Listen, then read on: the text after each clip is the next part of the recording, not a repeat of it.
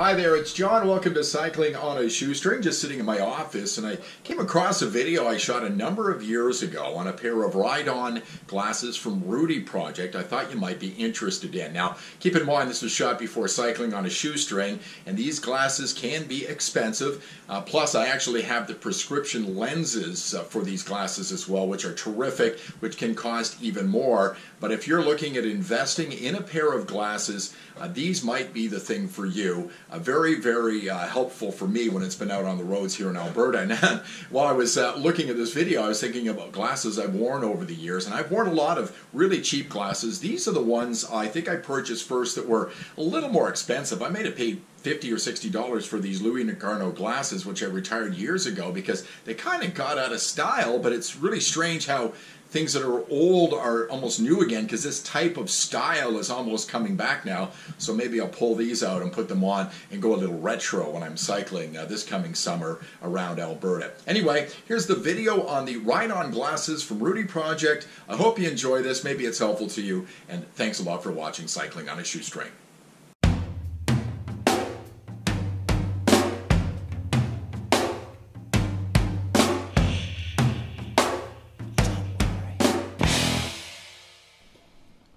Hi there, it's John, and I just wanted to talk a little bit about a new product I bought for my cycling, both road and mountain biking, and it comes courtesy of Rudy Project. They tell you a little bit about the Rudy Project Rydon glasses with laser red photochromic lenses, plus little added thing, the RX insert, the prescription insert for people like me who have weaker eyes as we're getting older. So I'll tell you a little bit about that. Maybe you can make a uh, good judgment when it comes to buying sunglasses when you're out running or riding or doing anything outdoors. So let's take a look at the Rudy Project Rydons. A little bit of background information for you before we uh, get onto these actual glasses here. I've been a Rudy Project fan and user for, for many years now. I've had a pair of Rudy Project sunglasses for about six or seven years. And these ones I bought, oh, again, about six or seven years ago. These are the Rudy Project Kerosenes which have been just terrific glasses for me. As you can see, they're mirrored, uh, kind of a smoky uh, gray lens in them. Do a great job uh, for, for cycling. They keep the wind out, they're easily adjustable, and I've really enjoyed wearing these glasses. I actually have an extra set of lenses for these ones. Uh, I bought the yellow ones because uh, when you have a dark, a darker day or it's a little bit gloomy out there, you've got some overcast sky, these really help to brighten things up when you're out cycling.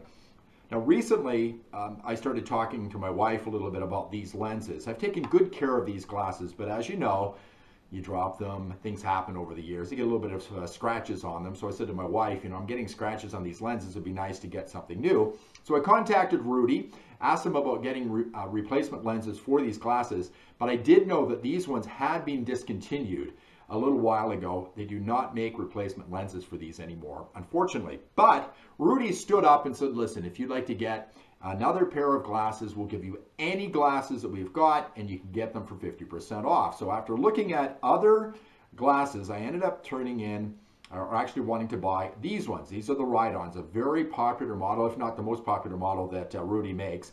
These have laser red photochromic lenses in them. Plus I've got the RX insert. I'll tell you about that in just a moment. Uh, I really, really like these glasses. Uh, first of all, a little, little bit about the lenses. These ones change as the light changes. So in darker days, they're clear. And as you can see, they just came out of the case, basically.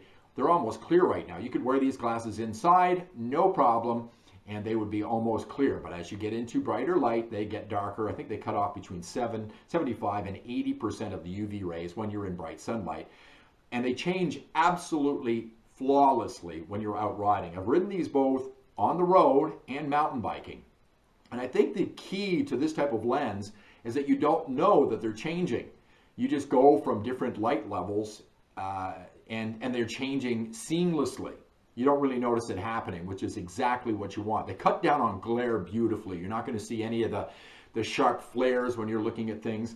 And uh, I've ridden them on the mountain bike trails as well. And as you can imagine, you're going from uh, open sky into woods and back and forth. Never even really noticed them changing at all. So they, they work just perfectly for you.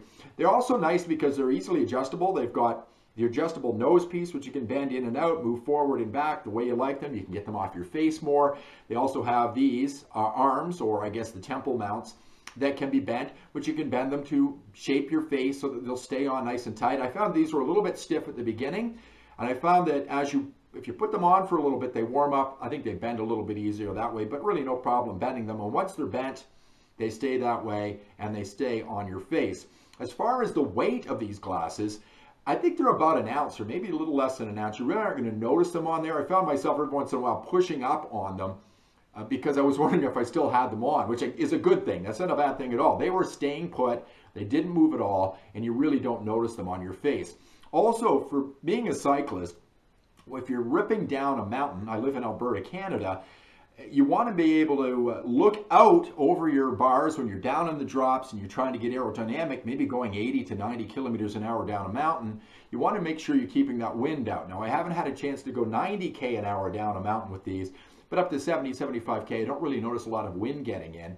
But it, there is enough uh, air getting behind them that they don't fog up, which can be a problem if you're cycling. They wrap around nicely and again, the clarity is terrific with these glasses. You're going to really like them if you do end up uh, buying them. Now, as you can see, I have got the RX insert. This is my prescription lens, which I sent away for uh, from Rudy. They came back within seven to 10 days, quite quickly, and they snap right into the frame.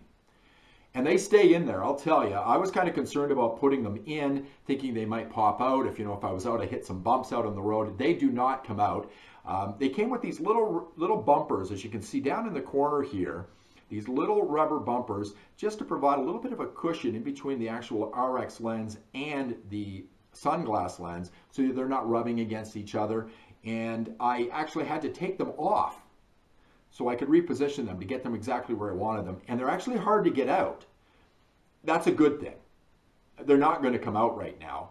And I don't think I'm going to really take them out of these uh, glasses ever again, although I can put them into these ones. They will fit, which is kind of nice. If I ever want to switch them out, I can wear these glasses as well. So uh, the, the clarity of the lenses is terrific. Again, I live in Alberta, so I get to see the mountains a little bit better right now. Uh, they don't add a lot of weight to the glasses. You can certainly feel it. I have a very, very weak prescription. I only need it for distance. Um, beyond about 10 meters, I get a little bit blurry, and it doesn't get all that much blurry as you go out into infinity for me. But they do add a little bit of weight. It might be a little heavier if you have a stronger prescription. They might have to make the plastic lenses a little bit thicker, so that might be a consideration for you. But I really don't, I really didn't notice wearing them at all with the lenses in there. But I'll tell you, it's so nice to be able to see clearly now after so many years of riding with these without prescription lenses at all. Never really noticed it. Now I wish I had uh, the RX insert for these all those years because they really add so much more to my riding. What can I say about them? I think they're terrific. I think I paid about $135 for the glasses altogether, just the glasses. Uh, again, that was about 50% off. And my prescription inserts were a little dear at about $217, luckily covered under my prescription plan at work. So I didn't have to pay uh, anything for those. It was completely covered well worth it. I am a Rudy fan. I have been for a long time. For seven years, uh, six, seven years, I've been riding with Rudy Project glasses. They stood up for me to get me these ones for a very good price. I can't recommend these any more than this. this they're just terrific glasses. You're going to love them. I think I'll be a Rudy fan for a long time. Plus, they come with this really great hard case to protect them. And they come with this little bag as well to help you uh, clean your glasses uh, when you need to do that. Great product the Rudy Project Rydons with the laser red photochromic lenses and the RX insert. Great product. Can't recommend them enough.